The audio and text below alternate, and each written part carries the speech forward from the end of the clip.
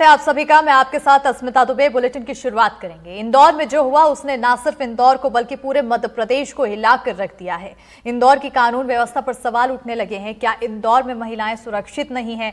क्या इंदौर में बदमाशों को कानून का डर नहीं है?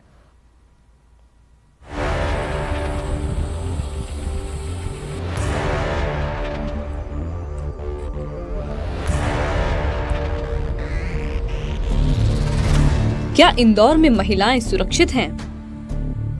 इंदौर में एक दिल दहला देने वाली घटना ने पूरे ज़िले की कानून व्यवस्था पर कई तरह के सवाल खड़े कर दिए हैं। जानकारी के मुताबिक मंगलवार देर रात पिकनिक मना रहे दो युवा सैन्य अधिकारी और उनकी दो महिला मित्रों पर बदमाशों ने कथित रूप से हमला कर दिया और उनके साथ लूटपाट की वारदात को अंजाम दिया। महू के सरकारी अस्पताल में लाया गया है और वहाँ पर ये बात पता लगी है कि इनके साथ न सिर्फ़ मारपीट की गई है, बल्कि जो एक महिला हैं, उनके साथ गैंगरेप की भी पुष्टि हुई है, लेकिन साथ ही साथ जो धाराएँ लगी हैं, जो बीएनएस की धारा सत्तर यानी गैंगरेप, जैसा मैं बता रहा था 310 दो यानी डकैती, इसके अलावा 308 दो एक्सटॉर्शन और 115 दो यानी किसी को चोट पहुँचाने की मंशा से किया गया वार और साथ ही साथ आर्म्स एक्ट की धाराएँ भी लगाई गई हैं इस पूरे मामले में। तो कहीं ना कहीं एक बेहद गंभीर मामला है। महिलाओं की सुरक्षा पर तो सवाल खड़े होते ही हैं। साथ ही साथ सेना के इलाके में इस तरह की वारदात को अंजाम दिया गया है। तो ये कहीं ना कहीं पूरे प्रदेश में महिलाओं की सुरक्षा पर एक सवाल निशान तो खड़ा कर ही रहा है। पुलिस के मुताबिक मंगलवार को देर रात बदमाश महू मंडलेश्वर मार्ग पर स्थित पिकनिक वाली जगह पर पहुँचे। इस दौरान बदमाशों ने ट्रेनी आर्मी ऑफिसर और उनकी महिला मित्रों से लूटपाट की। ऐसी आशंका जताई जा रही है कि इस दौरान बदमाशों ने उनके साथ मारपीट भी की और रेप भी किया।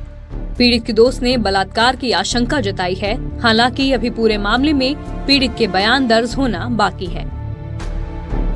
इस पे पुलिस ने प्रथम दृष्टिया एफआईआर की है और लड़की के कोई कथन अभी नहीं हो पाए हैं क्योंकि लड़की अभी आ, कथन नहीं देना चाहती थी। आ, जैसे ही वो कथन देगी हम उस पर आगे की इन्वेस्टिगेशन करेंगे। दो लोगों के साथ मारपीट हुई और अन्य दो लोगों को बोला गया दस लाख रुपए लाने के लिए और उनको भेज दिया गया था।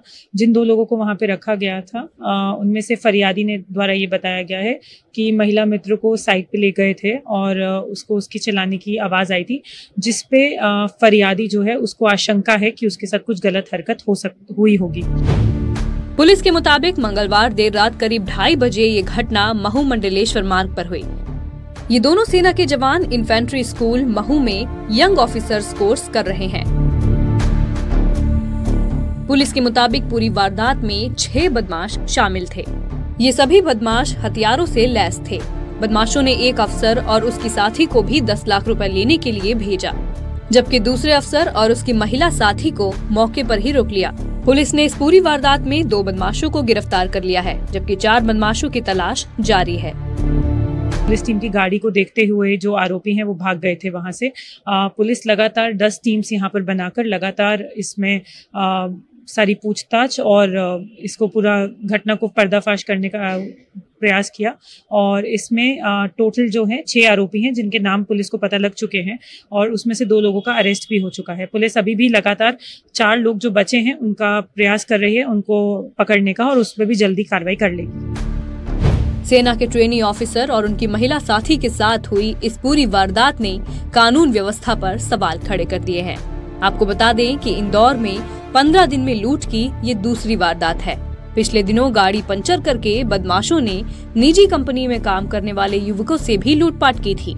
फ़िलहाल पुलिस ने मेडिकल जाँच के लिए पीड़िता को अस्पताल में भर्ती करवा दिया है। एनडीटीवी के लिए अनुराग द्वारी की रिपोर्ट। और इसी पर हमारी सहयोगी अमृतांशी जोशी लगातार जुड़ी हुई हैं। रुक करेंगे हमारे सहयोगी की और अमृतांशी, क्योंकि इससे बताया जा रहा है कि ये दूसरी घटना मानी जा रही है और इसके अलावा जो बदमाश हैं, उनका ग्रुप पूरा छह लोगों का है। कहीं ना कहीं नज़र आ रहा है कि ये लोग पक्के बदमाश हैं।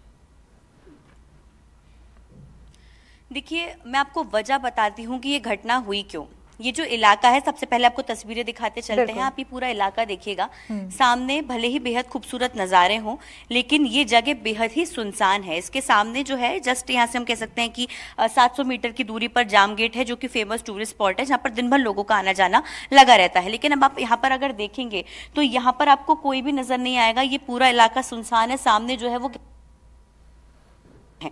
अब मैं आपको बताती हूँ कि स्टेप बाय स्टेप हुआ क्या था? ये जो जगह आप देख रहे हैं जहाँ पर फ़िलहाल मैं खड़ी हुई हूँ यहाँ पर अक्सर जो है वो जो लोग हैं वो आना जाना इसलिए करते हैं क्योंकि ये सुनसान जगह रहती है। यहाँ पर पुलिस की खासतौर पर कोई पेट्रोलिंग नहीं होती क्योंकि ये आर्मी का क्षेत्र है। आपको एक बोर्ड मैं सबसे पहले दिखाना चाहूँगी उसके बाद बताऊँगी कि क्यों यहाँ पर जो है ये घटना घटित हुई। आप सामने एक बोर्ड देखेंगे।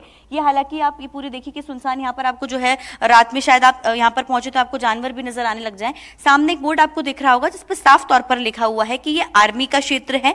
यहाँ पर किसी का भी अंदर आना जो है वो प्रतिबंधित है, क्योंकि आर्मी ने इसको शूटिंग रेंज के तौर पर रखा हुआ है। यहाँ पर कई जगह बम भी आर्मी अपने परीक्षण के लिए रखी हुई किसी भी उतना तक जो है वो यहाँ पर प्रतिबंधित है।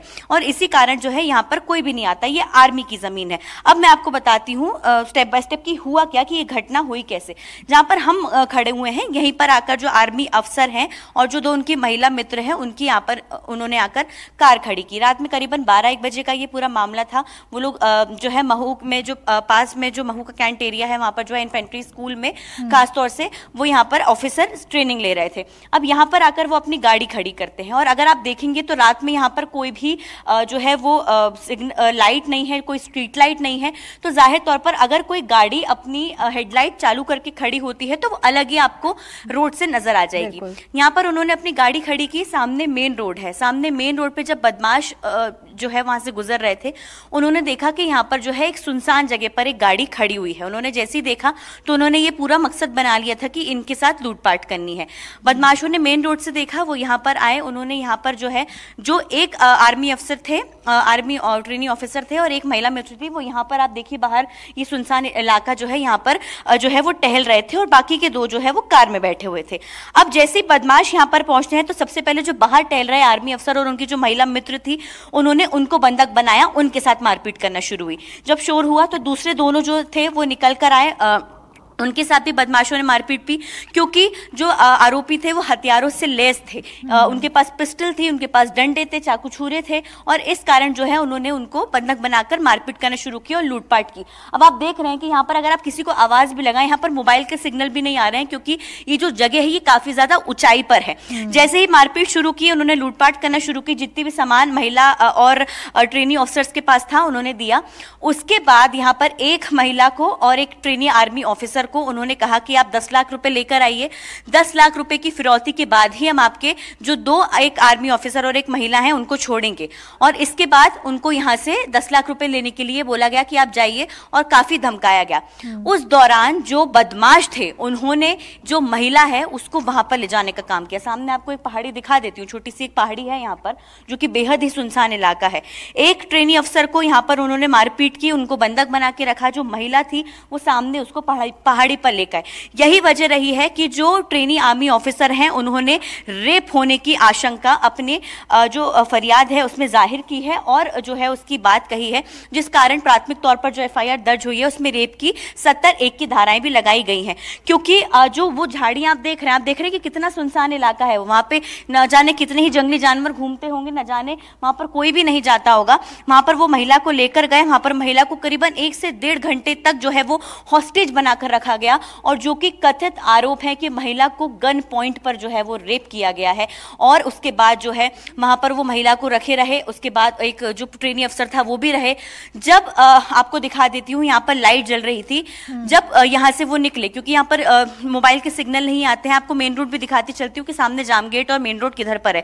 जब मोबाइल के सिग्नल नहीं मिल रहे थे जब ये आर्मी ट्रेनिंग ऑफिसर और खासतौर से जो महिला थी वो बाहर गई तो वो बाहर जाके उस मेन रोड रोड की तरफ़ गए जहाँ पर उन्होंने पहुंचकर सबसे पहले अपने जो कमांडिंग ऑफिसर्स थे जो सीनियर अधिकारी थे उनको सूचना दी। उनको सूचना देने के बाद जैसे ही वो जो मेन रोड आप देख रहे हैं वहाँ से कमांडिंग ऑफिसर्स और जो आ, सेना के अधिकारी हैं उन्होंने आना शुरू किया तो रात में अंधेरा रहता है यहाँ कोई स्ट्रीट लाइट नहीं है। जैसे उन्होंने आना शुरू किया तो उनको बदमाशों को पता चल गया कि यहाँ पर कोई ना कोई आ रहा है। आर्मी अफसर ने और उनकी महिला मित्र ने पुलिस या किसी और को जानकारी दे दी है जिस कारण उनको पता लग गया है।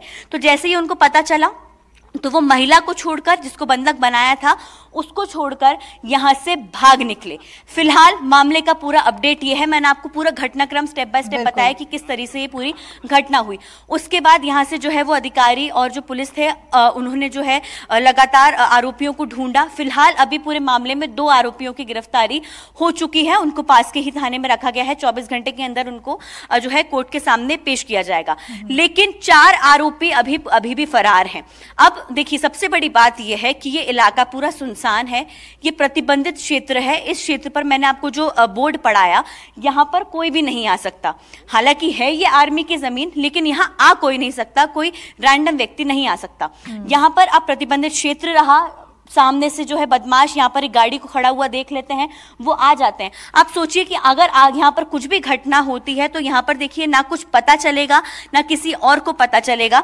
और पहले भी अभी कुछ दिन पहले की भी बात है, पंद्रह दिन पहले के करीब यहाँ पर एक और ऐसी ही घटना हुई थी, जहाँ एक युवक को जो है मारपीट उसके साथ की गई थी, उसको बंधक बनाया गया था और उसके साथ भी जो है वो लूटपाट की गई थी। तो कहीं ना कहीं देखिए, जिस तरह से सुनसान ये पूरा इलाका है, जिस तरह की ये जो पूरा घटनाक्रम है साफ़ तौर पर बताता है कि ये जगह सुनसान होने के कारण ये जगह जो है यहाँ पर कोई नहीं आता जाता। उसके कारण जो है खासतौर से ये घटना घटित जगह बनी हुई है। फ़िलहाल दो आरोपी पुलिस की गिरफ्त में है। बनता है कि अगर कोई वहाँ पर फंस जाता है और मदद के लिए कॉल करता है तो आखिर मदद पहुँचने में कितना समय लग जाता है? यानी कि वो इला, इलाका कितनी दूरी पर है आ, शहर के जो बाकी जगह है उनसे?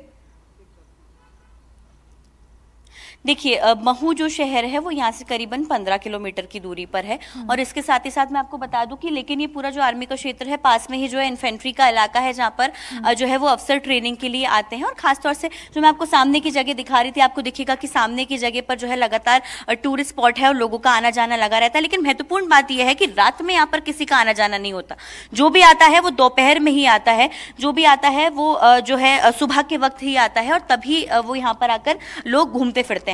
लेकिन अब जो है रात में अगर यहाँ पर कोई आता है तो यहाँ पर देखिए सबसे पहले तो ये क्योंकि जो जगह है जाम गेट ये काफ़ी ऊंचाई पर है। जो मैं आपको तस्वीर दिखा रही थी सामने घाटियों की ये काफ़ी ऊंचाई पर है। तो यहाँ पर पहले ही सिग्नल नहीं आते हैं। यहाँ पर बिजली यहाँ पर देखिए अगर स्ट्रीट लाइट्स आप लगा भी देते हैं तो ज़ाहिर तौर पर परेशानी तो ज़रूर जाएगी ही क्योंकि इतनी ऊंचाई पर जो है कनेक्शन देना भी बहुत ज़्यादा मुश्किल सा हो जाता है। शायद यही वजह रही और देखिए एक बड़ा जो लिंक यहाँ पर मिलता है कि ये जो बदमाश थे ये कोई जो है नए हम कह सकते हैं कि पहली बार चोरी के मकसद से, पहली बार लूटपाट के मकसद से नहीं निकले थे। ये बहुत ही गंभीर आरोपों में लिप्त बदमाश जो है वो बताए जा रहे हैं, क्योंकि जो छह आरोपी हैं, उसमें से एक पर गंभीर जो है मामलों में अपराध दर्ज है। एक तो मर्डर का आरोपी भी बताया जा रहा है और इसके साथ ही साथ जो अन्य आरोपी हैं, वो भी जो है लगातार ऐसी लूटपाट जैसी घटनाओं में संलिप्त रहे हैं, क्योंकि छो जो हम कह सकते हैं आरोपी हैं, उनकी शिनाख्त पुलिस ने कर ली थी जिसमें से दो की गिरफ्तारी हो गई है। लेकिन ज़ाहिर तौर पर अगर आप देखेंगे तो इस जगह पर क्योंकि बहुत ज़्यादा हम कह सकते हैं कि लोग नहीं होते हैं तो मैं आपको सामने जो घाटी है वो दिखाना चाहूँगी कि अगर इसके पीछे कोई छुपकर रहता भी है अगर इसके पीछे कोई छुपकर बैठा भी रहता है या फिर मेन रोड से भी यहाँ तक अगर आता है चुपचाप से तो किसी को पता नहीं लग पाएगा। बहुत आसानी से यहाँ पर अगर कोई व्यक्ति बैठा हुआ है तो वो उसको अपना निशाना बना सकते हैं। बिल्कुल बिल्कुल। ये वही जगह है ये जो पूरी घटना हुई है। हालाँकि हम्म। जब हम यहाँ पर अभी देख रहे थे तो यहाँ पर जो है जिस तरह का कचरा पड़ा हुआ था, जो भी यहाँ पर हम कह सकते हैं कि चीज़ें पड़ी हुई तो इससे साफ़ तौर पर पता चलता है कि इकलौते आर्मी अफसर या फिर जो है उनकी महिला मित्र यहाँ पर नहीं आई थी, बल्कि लोग यहाँ पर आते जाते रहते हैं। भले ये प्रतिबंधित क्षेत्र है, यहाँ पर किसी को आना नहीं है, लेकिन लोग लगातार यहाँ पर आते जाते रहते हैं। जान का खतरा भी यहाँ पर है, जो कि कल हुआ, जो कि इंसिडेंट पूरा हमें देखने को मिला ही ज़ाहिर तौर पर। तो कहीं ना कहीं ये साफ़ तौर पर बता रहा है कि ये जो बदमाश थे, उन्होंने मौके का फ़ायदा उठाया, उन्होंने एक अकेली गाड़ी देखी अकेले लोगों को देखा और उनको पता था कि यहाँ से मदद मिलना बहुत ज़्यादा मुश्किल किस्म का है। आसान नहीं है और शायद यही वजह रही कि उन्होंने उनको निशाना और इस तरह की वारदातों को इसलिए अंजाम भी देते रहे होंगे। बहरहाल अब जो दो आरोपी गिरफ़्तार हुए हैं उनसे पूछताछ में क्या कुछ और खुलासे होते हैं इस पर नज़र बनी रहेगी। और अन्य गिरफ्तारी कब तक होती है इस पर भी नज़र बनी रहेगी। बहुत शुक्रिया अमृतांशी तमाम जानकारी देने के लिए।